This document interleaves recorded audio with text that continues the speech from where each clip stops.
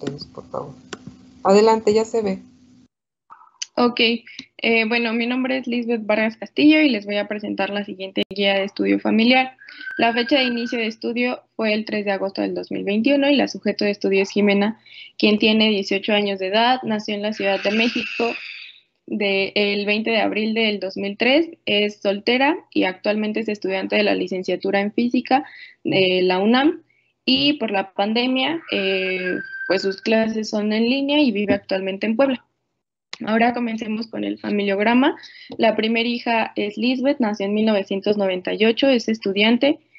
Eh, su hermana mayor, su hermana menor y segunda hija, eh, quien es la sujeto de estudio y su diagnóstico lo veremos más adelante. Ambas son hijas de Emanuel, quien nació en 1972. Actualmente es empleado de una empresa de flexografía y se encuentra sano y de Gorgonia, que nació en 1975, es cocinera de su propio negocio, también se encuentra actualmente sana y eh, mencionando parte de la historia familiar, ambos migraron de su edad, eh, de su hogar eh, a, una, a una corta edad a la Ciudad de México y se conocieron trabajando en la misma empresa eh, aquí comenzaron pues su fase de noviazgo y a los 10 meses contrajeron matrimonio el 14 de febrero de 1998. El 14 de diciembre del mismo año tuvieron a su primer hija y cuatro años después, en el 2003, a su segunda hija. Después de estos eh, sucesos en la etapa procreativa, atravesaron pues mm, diversas mudanzas, primero a la ciudad de Puebla en el 2006 y luego a República Dominicana en el 2012 y nuevamente a la ciudad de Puebla en el 2016.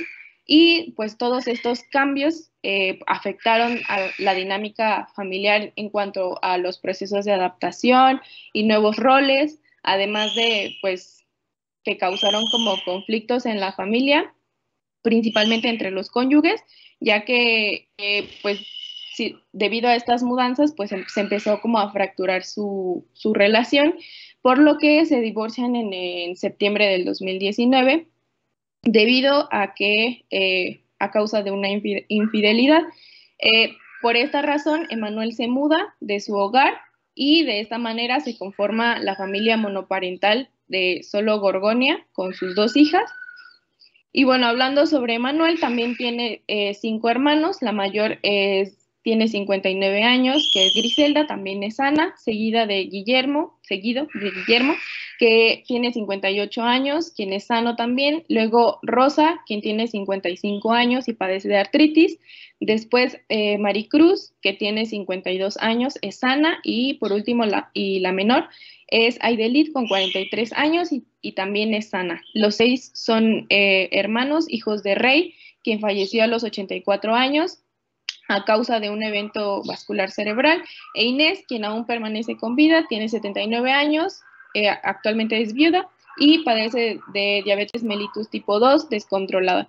Ambos eh, se unieron en matrimonio en 1950. Gonia tiene cuatro hermanos. el mayor es Patricio con 55 años, sano, seguido de Angélica con 53 años, quien padece de cáncer de tiroides, después María con 43 años, quien padece de diabetes mellitus tipo 2, eh, controlada, y al final Fortino, quien ya falleció a los 31 años en un accidente automovilístico. Todos son hijos de Demetrio, que tiene 82 eh, años, quien padece hipertensión, y de Margarita, que tiene 77 años con diabetes mellitus tipo 2, eh, quienes aún permanecen en matrimonio desde 1960. La familia, en base a su composición, pues es monoparental, ya que en el hogar solo vive la madre y sus dos hijas. En base a su desarrollo es moderna, ya que la madre es la única proveedora económica. En base a su integración es desintegrada, ya a, pues a consecuencia de la infidelidad del padre, y eh, pues los padres se separan, desintegrando a la familia. En base a su demografía es urbana, ya que habitan en la ciudad de Puebla. En base a su jerarquía es matriarcal, ya que la madre es la jefa de familia. Y en base a su funcionalidad es levemente disfuncional. Como podemos observar, la relación entre eh, Emanuel y Gorgonia es hostil debido a los problemas que hubo entre ellos. La relación entre el padre y sus dos hijas también se mantiene conflictiva esto ha llevado que pues la relación entre el sujeto de estudio hacia con su madre y su hermana pues se haya vuelto muy estrecha. Actualmente, la fase del ciclo vital en la que se encuentran, según Gaiman, es la de dispersión e independencia, ya que la segunda hija está a punto de alcanzar su madurez y los cónyuges pues finalizaron su fase de matrimonio con el divorcio y según Duval se encuentran en la fase 6 de dispersión. Em, el motivo de consulta fue debido a que la sujeto de estudio presentaba crisis de ansiedad que no mejoraban. Esto ya tenía una evolución de 12 meses. Eh, la justificación es, que estas comenzaron, eh, o bueno, empezaron eh, tras haber sufrido un evento traumático, lo cual fue un asalto a mano armada. Y pues además de todo esto, pues se suman los conflictos familiares por el proceso de divorcio de sus padres y esto, eh, pues es importante tratarlo debido a que estos trastornos eh, eh, de salud mental influyen de manera significativa tanto en la calidad de vida como en la participación social y las relaciones tanto con la comunidad como intrafamiliares. Hablando de las funciones básicas, la función de socialización se cumple de manera adecuada, ya que pues su madre es un ser muy social y esto se lo ha transmitido a sus hijas. Eh, la, función de cuidado también se cumple. Eh, la de afecto también porque eh, se cumplen todas las necesidades afectivas de, los integrantes, de las integrantes de la familia. En base a la económica también se cumple ya que pues tienen una solvencia pues adecuada para satisfacer las necesidades básicas. En cuanto a la biológica, esta ya se cumplió debido a que eh, pues eh, la madre con sus dos hijas ya eh, pues se encuentra como cumplida esta, esta función. Y en cuanto a la normativa, pues la madre de familia siempre trata de establecer reglas y roles para que pues pueda mejorar la dinámica familiar. En cuanto a la dinámica, pues Gorgonia es actualmente quien cumple el rol de madre y jefe de familia, es la única que trabaja y aporta el sostén económico y es la principal figura de autoridad. Eh, Lisbeth y Jimena solamente son estudiantes de, la universidad y ninguna de las dos labora. En cuanto a los aspectos negativos de la dinámica familiar, es que algunas veces hay fallas en la comunicación y pues, eh, la, la, jefa de familia pues, posee una sobrecarga de funciones. En cuanto a los factores de riesgo de la salud y, el ámbito social, bueno, en el ámbito social, como ya mencionaba, Gorgonia es un ser muy social, por lo tanto, eh, se le facilita mucho relacionarse con las personas y tiene un gran grupo eh, de amigos. En cuanto a Lisbeth y Jimena, a pesar de ser sociales, su grupo de amistades es más pequeño. El ingreso económico familiar solamente pues es este, eh, lo, aporta la jefa de familia y aunque no cuenta con un, em, sueldo fijo, pues es, suficiente para cubrir las necesidades. Esto debido a que pues trabaja como en un emprendimiento. En cuanto a los aspectos laborales, Gorgonia, quien es la que trabaja, eh, su horario laboral es de 6 de la mañana a 7 de la tarde y por ser un emprendimiento no cuenta con prestaciones como seguros eh, seguro social como el INSE, así. Su vivienda, pues habitan en una casa de tres pisos que es construida por eh, bloque y cemento, cuenta con todos los servicios y se encuentra en una zona muy segura. En cuanto a la alimentación y nutrición, eh, pues es adecuada. Gorgonia es quien generalmente cocina o, realiza los alimentos y pues siempre trata de incluir todos los grupos de alimentos pues eh, mayormente frutas y verduras y proteína.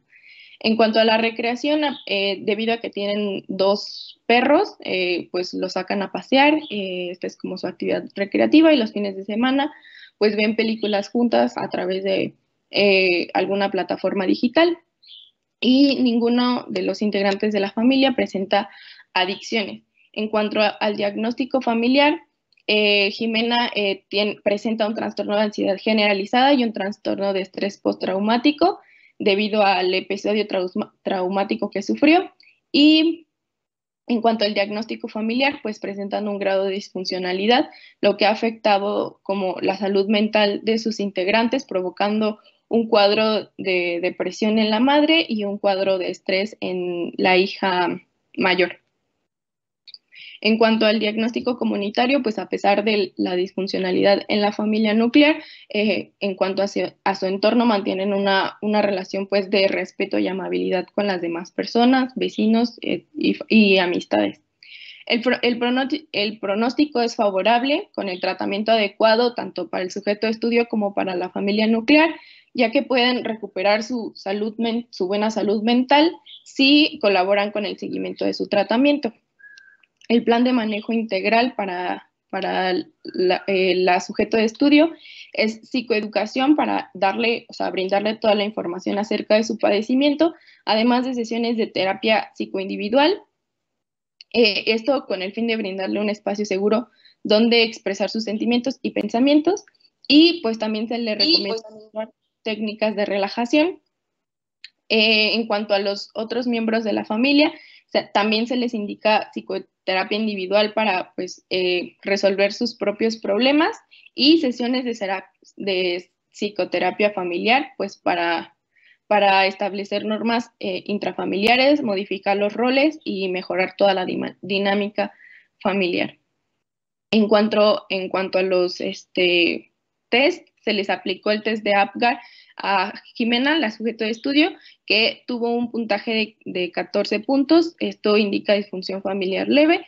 Em, eh, también a Lisbeth, que su puntaje fue de 17 puntos, que de igual forma eh, significa disfunción familiar leve. Y en cuanto a la escala de estrés de Holmes, se le realizó al sujeto de estudio, obtuvo 284 puntos, que es un 70% de riesgo de desarrollar un problema de salud relacionado con el estrés. Y eso sería todo. Muchas gracias. Ay, gracias. ¿Dudas? No, ya son expertos, ya deberían de captar inmediatamente. ¿Quién sigue, por favor? Yo, doctora, ya proyecto. Carlos González. Ah, Así es. Ok. Gracias.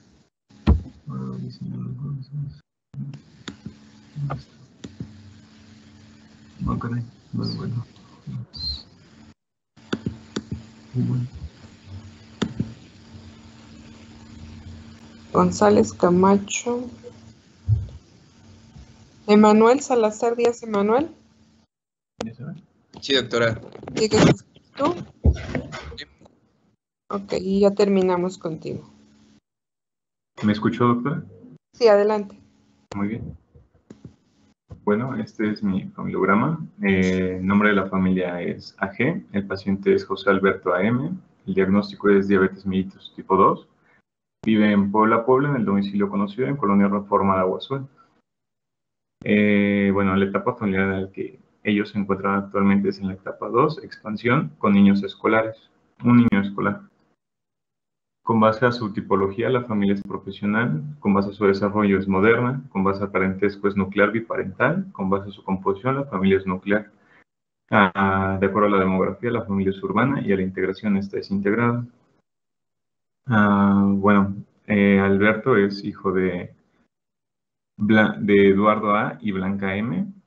Eh, ellos tienen dos hermanos, uno César Eduardo y Marco Antonio, de los cuales uno César Eduardo padece de hipertensión, mientras que la madre padece de diabetes mellitus, probablemente dada a su hijo Jorge Alberto. Por el lado de Verónica, su esposa, bueno, pareja, se encuentra en unión libre. Sus padres son José Enrique G.O., Lucía Dolores R.C., de antecedentes de importancia, únicamente artritis reumatoide por parte de la madre. Eh, uno de los hermanos padece hipertensión arterial, es Felipe Enrique G.R., y el otro hermano, Carlos R se encuentra sano, sin embargo vive en el extranjero, no mantiene una relación muy cercana con ninguno de ellos. En cuanto a la dinámica familiar, se encuentran estables, sin problema. Alberto y Verónica mantienen una relación de amor bastante, bastante normal.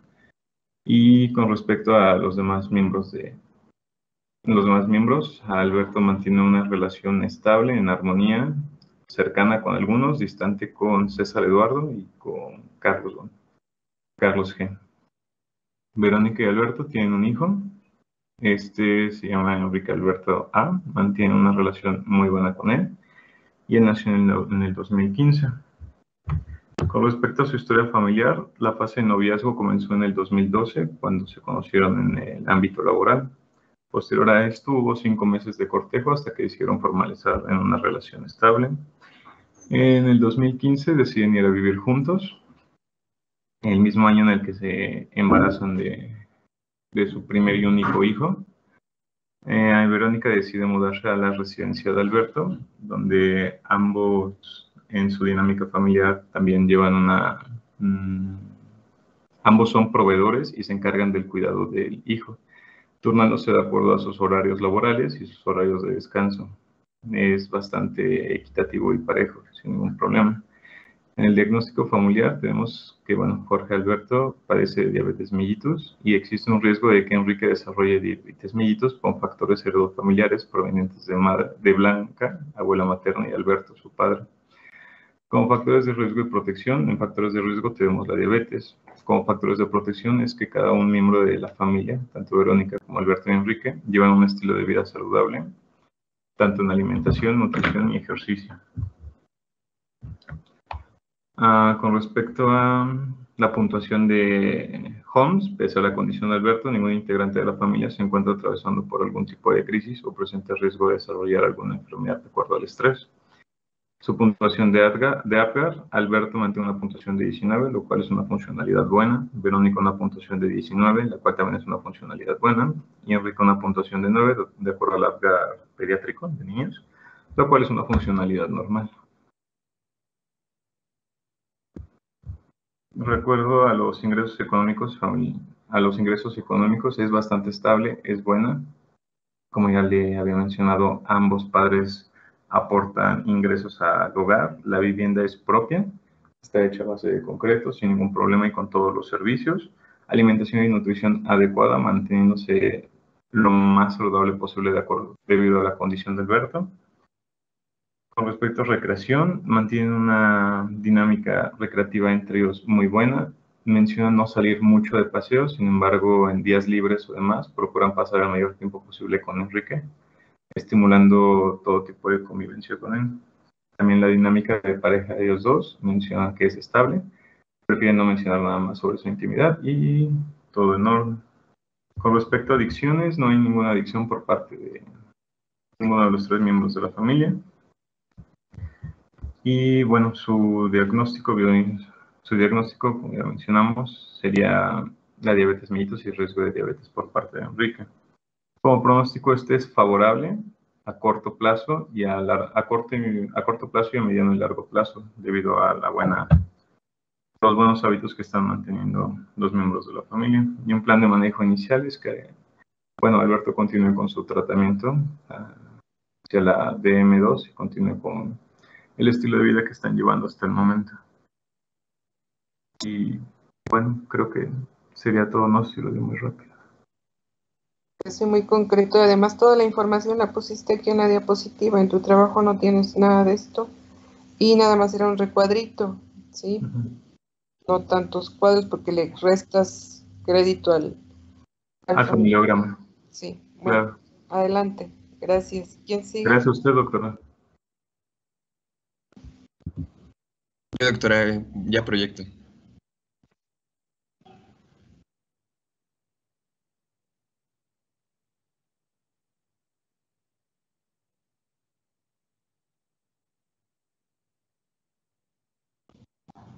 Este, sí se ve mi pantalla ya, ¿verdad? Sí. Mm, ya está la presentación.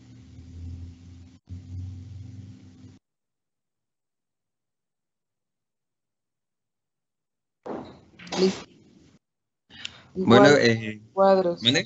Igual muchos recuadros, pero aquí también tú te fuiste por los, por las, los colores y la, o sea, para explicar el genograma. Ajá, ok, pues el otro lo debiste haber bajado porque si no nos quita la visibilidad, pero adelante, por favor. Ok. Eh, bueno, eh, buenos días, voy a presentar mi familiograma. tenemos este a nuestra familia es la familia OL. Nuestra persona en estudio es este, Guadalupe. En el familiograma se observan tres generaciones. Como mencionamos, el paciente de estudio pues, está señalado de color amarillo. se llama Guadalupe, ella nació en el año de 1977. Actualmente ella tiene 44 años de edad, es ama de casa y presenta obesidad, hipertensión arterial y actualmente se le diagnosticó diabetes mellitus.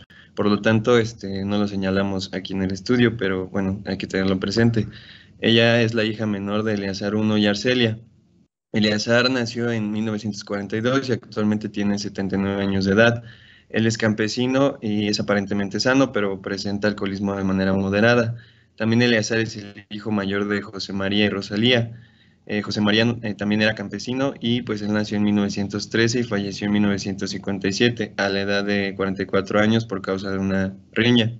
Eh, Rosalía pues era ama de casa, nació en 1919 y falleció en el año de 2020 a la edad de 101 años por causa natural.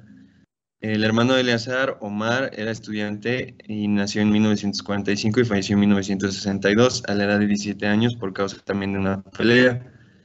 Eh, Arcelia nació en 1947 y actualmente tiene 74 años de edad. Es ama de casa y presenta hipertensión arterial y diabetes mellitus 2 desde hace 20 años. Arcelia es la hija mayor de Rubén e Higinia. Y bueno, Rubén era campesino, nació en 1922 y falleció en 1993 a la edad de 71 años de edad. Esto a causa de un infarto agudo al miocardio. También padecía hipertensión arterial. Virginia era ama de casa, nació en 1927 y falleció en 1992 a la edad de 65 años de edad por complicaciones de la diabetes mellitus tipo 2. Eh, Arcelia tiene dos hermanos menores. Aaron nació en 1964 y actualmente tiene 57 años de edad. Es carpintero y presenta obesidad de grado 2. Consuelo nació en 1966 y actualmente tiene 55 años de edad. Es ama de casa y aparentemente es sana. También este, el hermano mayor de Guadalupe es Eleazar II, él nació en 1967 y actualmente tiene 54 años. Él es campesino y presenta obesidad en grado 1. Él está casado con Sonia, ella es doctora y nació en 1970, tiene 51 años de edad y padece obesidad de grado 3 y hipertensión arterial. Ellos tienen dos hijas y un hijo. Las tres son estudiantes, la mayor se llama Andrea, nació en 1996, tiene 25 años y es alcohólica. Después sigue Fernanda, ella nació en 1997, tiene 24 años, y Eleazar 3 nació en el año de 2005 y tiene 16 años de edad. El núcleo familiar eh, de nuestro paciente en estudio va a estar determinado por Guadalupe, por Obed 1, por Obed 2, por Oswaldo y por Valeria. Eh, Guadalupe está casada con Obed 1. Él nació en 1971 y actualmente tiene 50 años de edad. Es ganadero y presenta obesidad en grado 1. Ambos constituyen una familia nuclear simple. Tienen tres hijos y su hijo mayor, Obed II, nació en el año de 1997. Actualmente él tiene 24 años de edad. Es estudiante de ingeniería civil y aparentemente sano. Eh, su segundo hijo es Oswaldo. Él nació en el año del 2002. Tiene 19 años de edad y es estudiante de preparatoria, aparentemente sano. Su tercera hija se llama Valeria. Ella nació en el 2008, tiene 13 años de edad, es estudiante de secundaria y aparentemente eh, es sana. Eh, dentro de las relaciones en el núcleo familiar, tenemos que la relación de Guadalupe con su familia, realmente eh, ella mantiene una relación estrecha con su tío Aaron, mantiene una gran amistad cercana con su papá Eleazar I y mantiene una buena amistad cercana con su suegro Fidencio. También mantiene una amistad cercana con su hijo B2 y su hija Valeria. Eh, tiene una relación de amor y respeto con su esposo B1 y una relación distante con su tía Consuelo. Dentro de la relación de Obed con su familia, él mantiene una relación de amistad cercana con su padre Fidencio, mantiene una relación de amistad cercana con su hermano Abdú, con su mamá Leonor y con su hijo Oswaldo. También mantiene una relación de amor y respeto con su esposa Guadalupe. En la relación de Obed II con su familia, Obed II mantiene una relación de amistad cercana con su abuelo Eleazar I, su prima Fernanda y con su mamá Guadalupe. En la relación de Oswaldo con su familia, él, mantiene una relación de amistad cercana con su papá Beduno y con su primo Eleazar III. Y dentro de la relación de Valeria con su familia, ella mantiene una relación de amistad cercana con su primo Cristian, con su mamá Guadalupe. Y bueno, ya dentro de la familia en general, eh, realmente todos mantienen una relación estrecha, de buena comunicación y de buen apoyo. Em, la historia de la familia, pues dentro de la descripción de cada etapa del ciclo vital, tenemos que Guadalupe vivía en Ayotoxco de Guerrero, de donde es originaria su madre Arcelia y su padre Eleazar I. Desde la adolescencia ella mantenía una íntima amistad con Fidencio, que es el padre de Obeduno, el cual habitaba en una comunidad llamada El Chacal del municipio de Tenampulco, Puebla. Eh, Eh, Guadalupe conoció a Obed en una fiesta en casa del señor Fidencio, en donde Eleazar I y Arcelia, Eleazar II y Guadalupe habían asistido. Desde ese momento, Guadalupe y Obed comenzaron a salir, dando inicio a lo que es la... Bueno, después, a los dos meses, eh, él le pidió que fuera su novia y esto dio inicio a la fase de noviazgo. Eh, su noviazgo duró tres años y dos meses. Después de esos tres años y dos meses, ellos decidieron formar una familia. Bueno, compartieron la idea de formar una familia Así que el 30 de junio de 1996 se casaron por el civil y la iglesia, dando origen a la fase de matrimonio. Aquí eh, ambos se fueron a vivir solos en una casa que heredó Obed y ambos tomaban eh, las decisiones del hogar y nunca pesó más la opinión de alguno de los dos. Eh, después, a los ocho meses de que la pareja se embarazara de su bueno, a los ocho meses de que se casaron, la pareja se embarazó de su primer hijo, dando inicio a la fase procreativa. Em, este realmente fue un embarazo planeado y deseado, y así nació su primer hijo, B2, el 19 de noviembre de 1997, aunque se refiere que el primer año fue difícil para ambos, ya que era su primer hijo, pero ambos padres contribuían a su cuidado y se turnaban para que pudieran descansar. Eh, se menciona que Obed fue un niño tranquilo durante su infancia, no, tuvo problemas eh, realmente graves de, de, salud, le gustaba ir a la escuela y cumplía con sus deberes de la casa. Después, el 7 de septiembre del 2002, nació su segundo hijo Oswaldo, eh, y pues realmente este embarazo no fue planeado, pero sí fue deseado. Eh, también aquí no hubo ninguna complicación eh, relacionada a Oswaldo, y bueno, el 12 de noviembre del 2008 nació la última hija Valeria. con ella los padres pues sí lidiaron más, ya que Valeria sí presentó algunas enfermedades, no pues graves, pero sí era mm, muy propensa a que se enfermaba mucho de niña por lo cual sí vio afectada un poco la economía familiar, pero pues realmente no, no fue algo muy grave. Los tres hijos de Guadalupe actualmente manejan una relación muy buena entre ellos, y así como con su madre y su padre.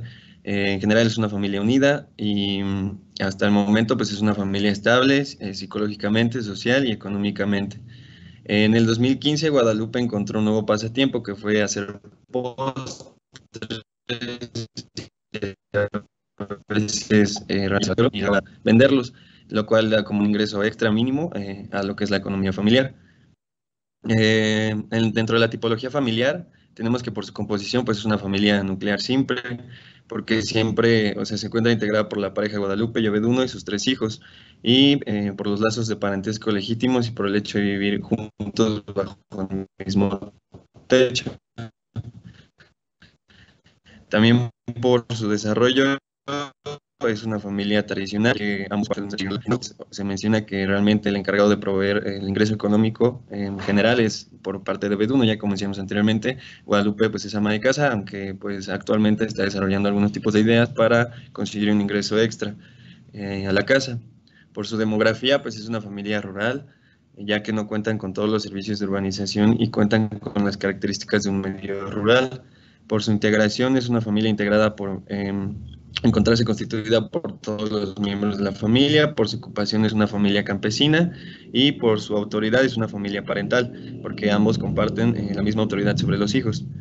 En su etapa actual, en el ciclo familiar, eh, como los hijos asisten a la escuela y ninguno se encuentra trabajando, eh, se menciona que de acuerdo a Gaiman, pues están dentro de la fase de dispersión, aunque ya se menciona que estarían entrando muy pronto a la fase de independencia ya que pues realmente Obed 2 eh, está a punto de salir de la universidad. en las funciones familiares, dentro del, cuidado y afecto, pues tiene una función cumplida. La familia eh, eh, lleva un control adecuado a nivel institucional de salud al acudir puntualmente a sus citas y realizar las actividades de salud que se les indica no llevan del todo una dieta adecuada y balanceada eh, y por lo que se les recomienda visitar a un nutriólogo. Dentro de la reproducción también tiene una función cumplida debido a que los tres embarazos fueron deseados y ambos cónyuges se acoplaron a la llegada de sus nuevos integrantes. En su estatus también tiene una función cumplida ya que su estado económico se ha mantenido desde que se casaron, no ha tenido problemas económicos realmente de importancia o relevancia. En su socialización eh, también tiene una función completa, pues ya que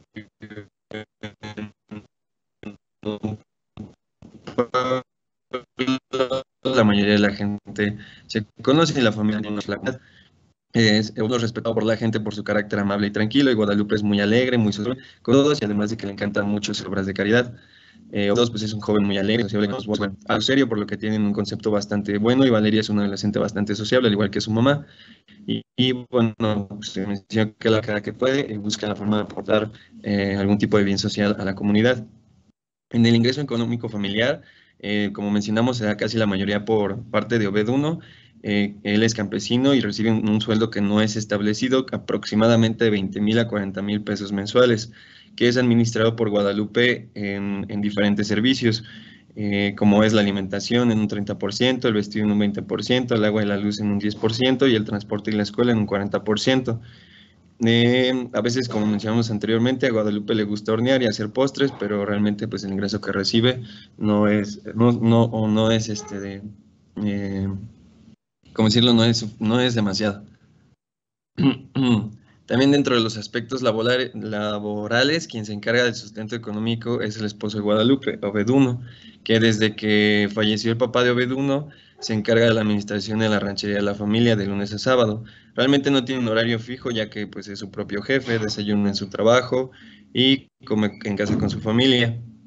Eh, las características de su vivienda es que habitan en casa propia, obtenida por herencia de su padre Fidencio, con paredes y techo de concreto, cimientos, piso de losa y cemento. Cuenta con cuatro cuartos que funcionan como recámaras, dos baños completos, cocina, sala, comedor, dos patios, uno delantero y uno trasero. Y en sus hábitos higienodietéticos, eh, realmente se menciona que los hábitos de higienodietéticos son buenos, pero el único problema es que es alto, también la casa de que pues tengan obesidad ambos jefes del hogar.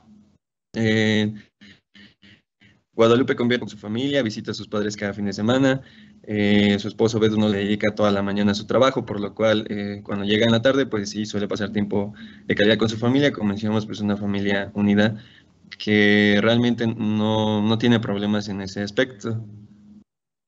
Eh,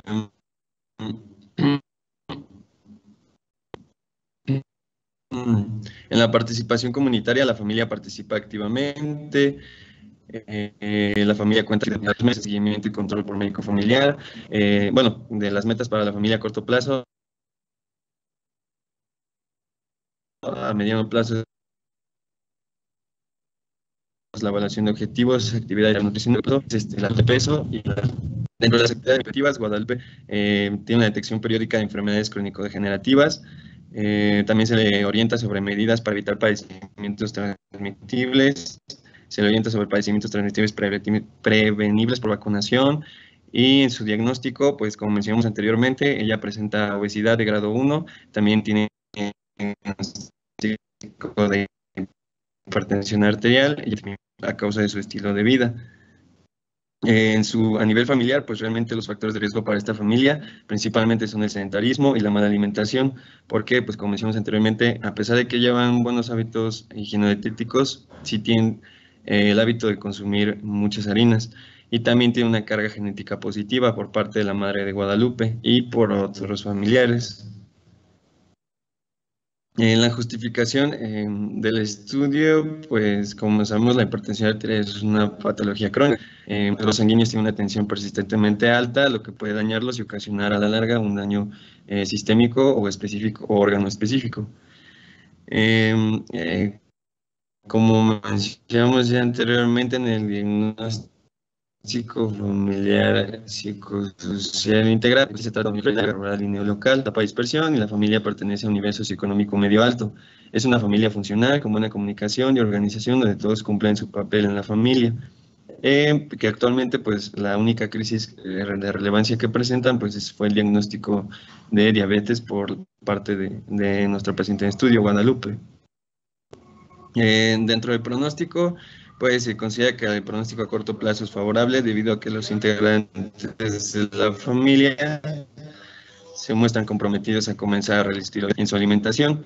Dentro del plan de manejo integral, eh, además del tratamiento farmacológico que Guadalupe está tomando para la hipertensión, se le recomienda la visita de inmediato a un nutriólogo para tratar aspectos nutricionales que le ayuden a llevar una dieta más saludable. Y bueno, como igual ya habíamos mencionado anteriormente, también se le sugirió que, bueno, como es en los pacientes con diabetes, que se le sugirió a toda la familia que los mismos hábitos dietéticos que ve la paciente en estudio, eh, deben realizarlo toda la familia para que eh, sea como un tipo de apoyo, para que al igual ayuda para la prevención, igual da más orden su, su plan dietético. Eh, dentro del APGAR que se le realizó a la familia, bueno, para el APGAR Guadalupe tiene un APGAR de 20 puntos, también para OBED1 tiene un APGAR de, con puntuación de 19 puntos, el de OB2 de 19 puntos, el de Waldo de 19, le valería de 18, por lo cual pues, se puede considerar que realmente tiene una buena función familiar. Y en la escala de reajuste social de Holmes eh, tiene una puntuación, nuestro paciente de 81, por lo cual pues tiene realmente un riesgo bajo de presentar alguna enfermedad por estrés. Y bueno, eso sería todo, doctora.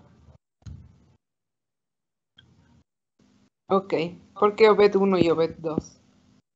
¿Vale? ¿Por qué Obed 1 y Obed 2? Ah, porque Obed 1 es el papá y Obed, como le hicieron poner al hijo igual que, que el papá, pues le colocamos para no Es un problema que vimos en muchas familias, ¿no? Cuando tengan hijos no hagan eso. Es una confusión tremenda. Tengo este. Sí. Mis hermanos a todos les pusieron el nombre de sus hijos y luego no sabemos ni de quién estamos hablando, ¿no? Entonces tenemos que utilizar este, como ahorita tú, ¿no? eh, Javiercito, Javier, así, entonces hablarles en diminutivo ya están grandes y decirles Javiercito luego pues como que no es muy agradable para ellos, ¿no? Entonces, este, o le ponen aquí Junior, ¿no? Aquí me, la primera vez que utilizan uno y dos, pero es muy repetitivo esto, ¿no? Hay tantos nombres y principalmente se dan los hombres, ¿no? Le repiten el nombre, pero bueno, este, esa es su decisión, ¿no? Muy respetable. Pero bueno, bueno, entonces esta es la última, ya nadie falta. Ok, bueno. Entonces vamos a continuar con niños. El grupo de atención integral a niños. Ah, eh, no pude abrir su, su presentación. ¿Dónde están los chicos de que van a presentar niños? Sí, doctora, aquí estamos. No pude abrir su presentación, o sea, la anterior sí, la que después la que les dije que la modificaran para revisarla, sí la enviaron, pero la envió Hugo, pero no puedo no puedo abrirla en la plataforma ni tampoco en mi escritorio, ¿sí? Entonces me la reenvían, por favor. Este, Ajá, igual la subimos, cada quien ve que nos subió una rúbrica. Ah, a ver, déjeme ver, a ver si... No sé si la puede abrir. Ah, no, es que ahí nada más no, la nada más me pareció. A ver, déjame ver. Mm, tareas. A ver si, si la puedo abrir. Atención integral a niños. Es que una disculpa, se las envía a todos, nada más se la tenía que haber. Acá está, entregado. Godos Hernández. No, pero me sale Godos Hernández Diana entregado y no hay nada. Y se supone que ella no tenía que entregar la razábal. ¿La razábal? Si eres de niños. No, doctora, nada más le di entregado porque me aparecía en la pestaña como para que no se venciera. no tiene nada, tramposos.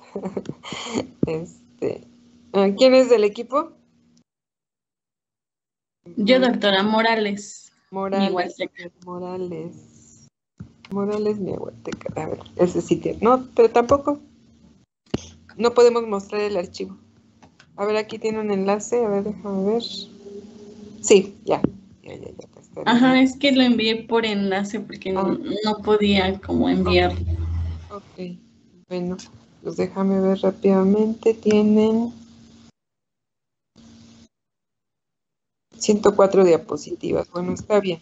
Nada más reviso el orden que les pedí que modificaran y ver si les falta algo. Empezamos mañana ya, ¿sí?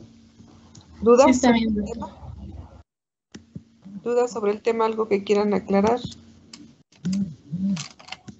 no, el enfoque, de todos es preventivo. Sí, adelante, perdón. Este, es que yo soy del equipo, pero a mí no se me abrió este la para entregarlo. Ah, no te preocupes, este voy a eliminarlo y nada más se la mando al equipo.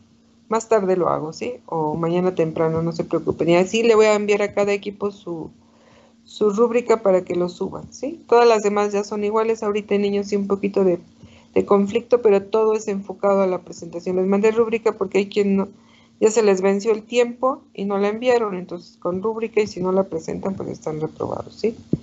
Nunca me habían fallado y ahorita sí no sé qué hicieron, ¿sí? Entonces todos envían su, ya su trabajo, este, y por rúbrica esta semana se las tengo que enviar por rúbrica, ¿sí?